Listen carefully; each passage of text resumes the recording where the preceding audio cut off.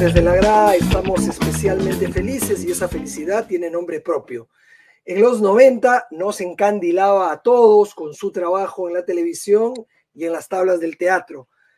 25 años después la hemos reencontrado, está espléndida y ya no está en el país, vive ahora en, en Miami, vive en los Estados Unidos y trabaja, entre otras cosas, como asesora de salud. Vamos a conversar con María Pía Ureta. Un placer tenerte en el programa el día de hoy, María Pía.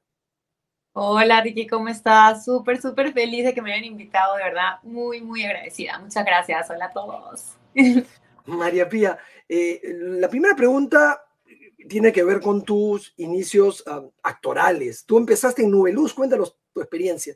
Oh, yo empecé en Nubeluz, era bien chiquita, tenía 14 años. El primer día o sea, el día que cumplí 15 años fue el día que grabé mi primer videoclip en Noveluz que se llamaba Cuidado, con Cusi Barrios, espectacular productor, maravilloso, un equipo maravilloso, Noveluz ya saben, ¿no? Y este, bueno, empecé ahí, eh, estuve varios años con gente espectacular, Almendra, Xiaomi, Lili, Dani, bueno, María Marcos Unino, ¿no? Este, Marcos, Martín del Pomar. No, demasiadas, demasiadas estrellas, Rosanita Fernández Maldonado, Daniela, Daniela fue. Sí, fueron, fueron muchas que todavía siguen siendo actores. Daniela Cerfati, que es un coche de vida maravilloso, una mujer hermosa por dentro y por fuera, demasiado bella. Todos, todos los que están eh, todavía son parte de la tele y que tuve la suerte con ellos de compartir y con productores como Gabriela Querol, Lucho Carrizales, bueno, imagínense, ¿no? De verdad que tuve una suerte de, compartir con los nubecinos y los nubetores en esa época. Impresionada, el otro día hice un programa eh, con Lili, con Almendra, después de años, y me, impresiona porque todavía hay gente que es súper fanática de novelas, hay gente que se recuerda todo de nosotros, recuerda las cosas que, que vivíamos, que regalábamos, lo que no regalábamos, las canciones, los bailes, porque de verdad marcó su vida, marcó la mía impresionantemente y y de verdad fue una época muy, muy bonita para nosotros, muy linda. Y de allí pasaste a la televisión y al, y al teatro. Cuéntanos un poquito de tu trabajo en las telenovelas y en, y en las tablas también. De ahí eh, yo estaba en Nubeluz, de hecho me ascendieron en algún momento a Nubelina con Dani, eh, hice un poquito de co-hosting ahí con, en Nubeluz era mi sueño en esa época tener un programa infantil propio, pero se me atravesó Michelle Gómez eh, y, me, y me ofreció ser protagonista de una novela juvenil que se llama Tribus de la Calle. Yo en Con Paul Vega, ¿no? ¿Ah? Con Paul, Vega era tú. Digamos, tú, eras, la estrella femenina, la protagonista femenina, y Paul Vega era el, el galán masculino. El galán. Jimena Lindo era la mala, Carlín, eh, Carlos Carlín, estaba Vanessa Robiano, con un elenco espectacular, Fiela Rodríguez, de verdad espectacular. Así que tuve la suerte de, empezar ahí. Me acuerdo mis, primeras, mis primeros capítulos. Ay, no la crea de mi mamá, era lo máximo. Ay, se me fue su nombre, pero era una actriz espectacular. Mi mamá, me acuerdo cuando yo le conté que iba a ser, iba a ser mi mamá, me decía, ¡ay, no puedo creerlo, qué honor! No, porque de verdad era una súper actriz, de verdad, unos actorazos que, con los que yo tuve la suerte de compartir en ese momento, Teddy Guzmán, bueno, Carlos Victoria, millones de millones maravillosos, que tuve la suerte de convivir, de compartir, de que me enseñaran, que me tuvieran paciencia, porque al principio ya sabes, ¿no? La primera vez que María, porque era, se llama María y ya sabes, la dramática, ¿no? Típica. Este, me acuerdo la primera vez que tenía que llorar a mares, no me salían las lágrimas, era horrible. Y, y bueno, y este, hasta que ya me salieron, Aristóteles Pichu fue el que nos, este, nos, no, nos preparó en la parte de actuación, espectacular, lo adoraba, lo adoraba, me enseñó demasiado. Y, este, y bueno, y ahí empecé las novelas y me quedé ahí, me quedé en las novelas, después una tras otra, una tras otra, y, y de verdad, gracias a Dios, no paraba de, de tener novelas súper lindas con gente espectacular. No, no, me, quedo pensando en Tribus de la Calle porque un poco eh, conjuga la, temática del programa, ¿no? Que es este, arte, que es en este caso eh, era una telenovela, con, ah, con deporte, ¿no? Que es, la historia de las barras de la U y la Alianza eh, llevadas a la, a, la, a, la, gran pantalla, ¿no? Tú sabes que Miguel Isa, que pasó por el programa, nos, contó, nos contó Miguel que, que claro, que él tuvo problemas por, porque claro, lo identificaban como un hincha de uno de estos equipos, un hincha recalcitrante y lo, lo, pecharon alguna vez en, en el Perú, claro. Seguro, seguro. O sea, obviamente a mí no me pasó porque pues era mujer, era chiquita en esa época, tenía 18 años, era una niñita. No, nunca nadie me, me, me, digo, me habló mal o algo, pero sí me acuerdo que ellos sí, sí lo vivían. O sea, sí lo vivían y la gente se lo tomaba full a pecho, que la gente era súper hincha, o sea, súper, súper alianza. Uy, no hay manera que, que te vayas para el otro lado, ¿no? O sea, eres de uno o de otro. ¿no? Y cuando grabamos en la calle, sí me acuerdo que la gente se acercaba ¿no? Y nos veía. Entonces, pero bueno, no sé, seguramente los chicos deben tener mucho más historia de ese tipo. María Pía, ¿te, gustaba actuar? O sea, ¿era, era, era, era algo que, con, la que, con lo que eras feliz? Sí, obviamente sí. Lo que más creo que me gustaba en ese momento era animar, o sea, eh, eh, me encantaba hablar directamente a la cámara, ¿no? Pero, pero, pero actuar también era lindo, también era lindo, era como era súper lindo, digo. Obviamente lo disfrutaba, obviamente a mí me encantaba estar en la televisión, eran otras épocas de la televisión de otro, otra manera, ¿no? Y, y de verdad era muy, muy lindo porque crecí en la televisión, o sea, en verdad toda mi, mi adolescencia y mi juventud temprana, pues lo hice dentro de una, frente a una cámara con, con, gente de la televisión y para mí era algo muy normal, ¿no? Era muy normal y, y la gente, el otro día un amigo del trabajo me preguntó, me dijo, Pia, ¿y a ti te reconocían en la calle y te pedían autógrafos? le decía, sí, la verdad sí, siempre. No, siempre. Y, y, una cosa, ¿y tus hijos saben esta historia? ¿No? ¿saben, ¿Saben que su mami ha sido, ha sido sí, famosa? Saben, les da risa, es como, ay, mami, es como, obviamente yo de, siempre cuando eran chiquitos trataba de enseñarles nube luz y bailar con ellos, pero como que los, ninguno de los tres, por ejemplo, eh, Sebastián y Samantha son muy artistas, pero muy como les encanta dibujar, dibujan espectacular, sobre todo el gran dibujo espectacular. Uh -huh. Este, Samantha también dibuja muy lindo, bueno, en la época, ya sabes, ahorita están en los animes y eso, ¿no? Pero nunca fueron muy artistas como yo, ¿no? Ninguno de los tres. Entonces yo siempre, ya, ¿será que Isabela? Ninguno de los tres, nunca les gustó a ninguno de los tres el, el, este tema que a mí me gustaba, así de la, del, del show y, y, salir y bailar y esas cosas, ¿no?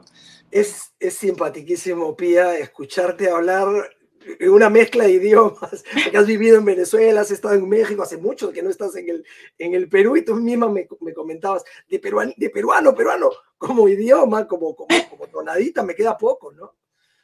Trato, trato, trato. Te lo juro, últimamente yo trabajo con peruanos ahorita, entonces estoy así como que se me pegue otra vez, que se me pegue. No, Qué bueno.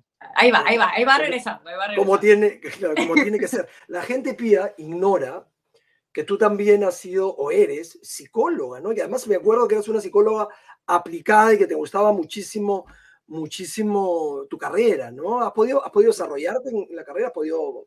Eh, la, la, la verdad no, la verdad me encantaría, es un sueño que tengo hacer una maestría en psicología aquí para poder ejercer, porque sin maestría, sin doctorado no puedes ejercer en Estados Unidos. Este, entonces, pero, pero yo creo que, que sin y, y, lo, y te digo algo que me, me, pasó hace como un año, ¿no? Eh, que obviamente pas, han pasado muchos años que un tiempo que me dediqué solamente a mis hijos, a mi familia, y luego cuando empecé a ser health coach y todo esto, pero siempre hubo algo en común, o sea, siempre en toda mi línea, en, todo, en toda mi vida ha habido algo en común, que es mi deseo de inspirar a las personas, mi deseo de motivar a las personas y de que las personas se sientan bien.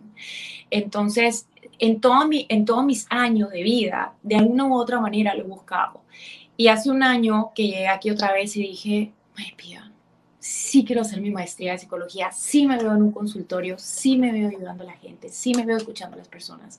Y dije, lo voy a hacer. Ahorita no he podido porque, claro, es muy costoso y tengo que tener una capacidad para poder hacerlo. Pero de alguna u otra manera creo que lo he aplicado tanto en lo de Health Coach que he estado haciendo, que ya lo vamos a tocar en un ratito, me imagino, y en mis clases, que para mí es un día a día de de que la gente se motive, que la gente se inspire, que la gente encuentre ese poder que tienes adentro de, cambiar tu vida y de cambiar la vida de los que están alrededor tuyo, sobre todo la tuya. ¿no? Eso, eso está súper lindo, Pía. Y además yo creo que justamente esta maestría o tu carrera, aún sin maestría, se vincula directamente a tu filosofía de vida. Es decir, hay un, hay un, hay un sustento eh, académico detrás de, lo, que tú haces, porque ha habido un estudio de, la conducta humana, de las emociones, y que tiene que ver directamente ya con tu actividad eh, como health coach, que vendría a ser en, español eh, como una entrenadora de salud física, ¿no? Sí, claro, porque lo físico, lo físico es un reflejo de tus emociones. Lo físico es un reflejo de tu cómo duermes. Lo físico es un reflejo de lo que comes, ¿no? Lo físico es una es, tú le te alimentas de todo, te alimentas de todo, entonces eso sí es eso, básicamente es eso. Hablabas de que dabas clases, ¿de qué clase estamos hablando? De Se ah, llama indoor cycling, ajá, es como la bici especie, claro, especie de bicicleta estacionaria. Como un spinning, que es lo que todo el mundo conoce de los gyms, pero este es como, es en un cuarto oscuro, a la luz de las velas, con ah. lucecitas. Entonces, sí, yo le he metido, o sea, yo, yo a mí me entrenaron eh, de, una, de un estudio que se llama Soul Cycle, que justamente ellos dijeron que a partir de las emociones ellos iban a cambiar vida, ¿no? Entonces, eh, encima de una bicicleta es como que tú te empoderas y tus emociones van volando, ¿no?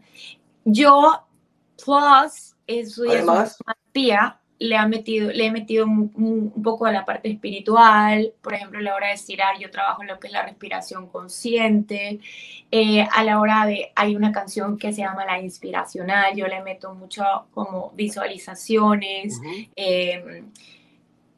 como que trato de entrar a tu mente aprovechándome de ese cuarto oscuro, de ese estudio oscuro que ahorita en ese momento solo está por luz de las velas, como que yo trato de que viaje, que tu mente viaje a ese lugar tranquilo, sereno, de paz, lo que escoja hacer en ese día de clase, ¿no? Y sí, ahí utilizo mucho mis herramientas de psicología. Tú sabes que Amy Cuddy, que es una neuróloga que, que trabaja en Harvard, ella que quería probar que así como nuestro físico se ve afectado por nuestro aspecto emocional, es decir, si estás triste se te nota, tienes ojeras, y, y, uno camina cabizbajo, y, claro, uno levantando el mínimo podía mejorar, dijo eh, como teoría que también podías hacer el efecto inverso, es decir, si tú haces mucho ejercicio, si tú estás bien y tienes una actitud positiva físicamente hablando, es decir, si esto puede repercutir en que te sientas mejor internamente, ¿no? Esa era su, su postura, hizo unos estudios y, y, sacó un par de libros fantásticos al respecto. ¿no? La voy a leer, la voy a leer. Este, yo trato de trabajar, o sea, tengo, sobre todo en la época de pandemia, en lo personal desarrollé ansiedad. Nunca había desarrollado ansiedad. Y la pandemia, como muchos les debe haber pasado, desarrollé ansiedad.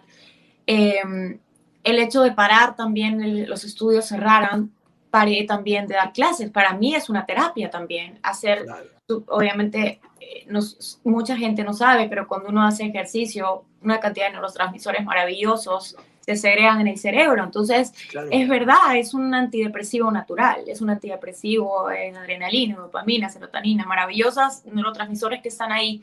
Y cuando yo lo dejo de hacer, I'm going down. claro. Claro, porque es mi, es mi, es decir, una, es no decir una droga, pero es algo que yo utilizo a mí misma como una terapia para mí misma, y lo dejo de hacer y siento el cambio. Entonces, durante la pandemia empecé a trabajar, eh, buscar muchas herramientas para poder trabajar yo mi propia ansiedad. Estuve a punto de tocar a un psiquiatra porque estuve a punto de decirme, pía, ya no puedo más, ya no tiene o, causa-efecto, sino se, se dispara en cualquier momento. Entonces empecé a trabajar en mis clases la respiración consciente, empecé a trabajar mucho la gratitud, empecé a trabajar muchas cosas, em, sobre todo la gratitud, creo que es lo que más me cambió, el poder sentir, el poder de la gratitud, el poder de la respiración consciente, que a mí me ha costado mucho hacer meditación, pero eh, encontré un podcast que me explicó que la meditación puede ser en movimiento, que la meditación pues es el estar presente. Entonces, eso es lo que trato de hacer y, me ha ayudado bastante. Entonces, lo que tú decías, ¿no? o sea, toda la parte física, vivir el momento, estar presente, la respiración consciente, nos afecta el cerebro y en ese momento nos hace sentir mejor también. No, y además, encontraste el refuerzo que significa tocar vidas. Y eso nos comentabas tú un segundo antes de, de, salir al aire con la entrevista, que a ti lo que más feliz te hacía es que una persona te dijera, oye, Pía, mi día ha sido grandioso gracias a ti, ¿no? Exacto. Eso me ha pasado todos los años, gracias a Dios, que he trabajado en indoor cycling, haciendo mis clases. Este, siempre hay, momentos en que tú dices algo en la clase, en ese momento, y de repente tienes 30 personas rodando contigo en la clase, pero una le cambiase la vida o a dos le cambiase la vida. Justo necesitaba escuchar eso en ese preciso momento. Lo otro, una, una mía me contaba una época, me decía, Pia, cuando te conocí, cuando empecé a ir a tus clases, fue cuando yo estaba más hundida, cuando mi esposo me hacía sentir una porquería, cuando mi matrimonio estaba peor. Y gracias a estar ahí en las clases con otras mujeres maravillosas también, otros hombres maravillosos, mujeres maravillosas, gente que echa para adelante y dice, yo no me hundo, yo me voy para arriba, ¿no? Este, gracias a Dios ya salió, ¿no? ¿Qué tips de salud tú crees que podrías darle a una persona como yo, por ejemplo, que está sobre, que está, que tiene, que está, tiene sobrepeso y que hace poco deporte y que bueno. Yo quiere empezar, quiere empezar. Mira, yo siempre les digo. Una peluca no vale, ¿eh? Una peluca no, vale. No. no, yo siempre les digo, este, tiny steps, pasitos chiquitos, hacen pasos grandes si uno no hagan cambios tan radicales, es más difícil hacer cambios tan radicales. Hagan cambios chiquitos, aunque sea, chiquitos. Si uno, imagínate, si uno hace un cambio chiquitito todos los días, así chiquitito, y es todos los días, todos los días, it's gonna be big, o sea, va a ser enorme.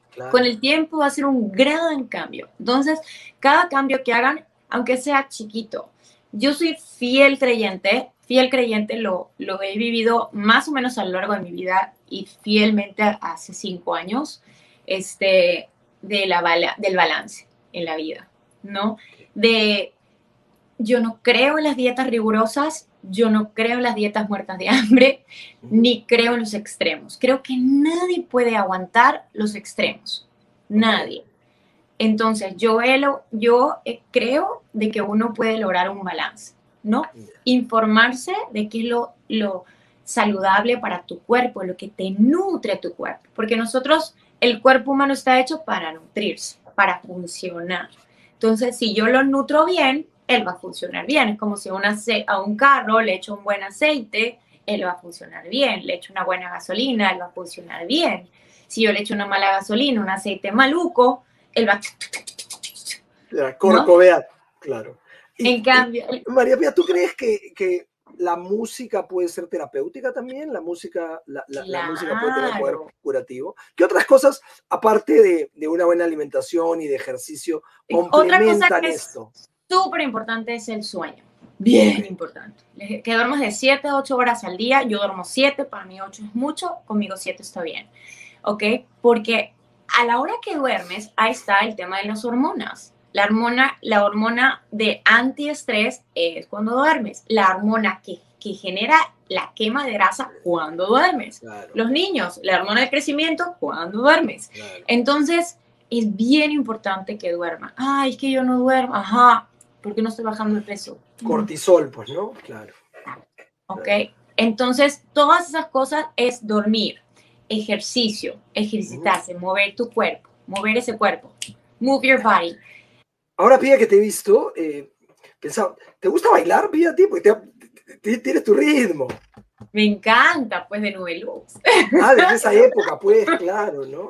Me encanta bailar, o sea, yo para mí la música es súper importante. A mí la música la uso para relajarme, para respirar, para respirar conscientemente, para tranquilizar mi mente, pero la uso también para...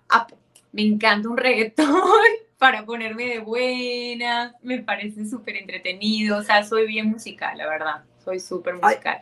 María Pía, ha sido, la verdad, súper lindo tenerte en el programa, este, nos ha encantado saber de ti después de todo este tiempo, estás estupenda, sigues conservando la misma, eh, la misma obra maravillosa, lo maravilloso que te caracterizaba y nada, felices de haberte tenido en el programa, de verdad, María Pía.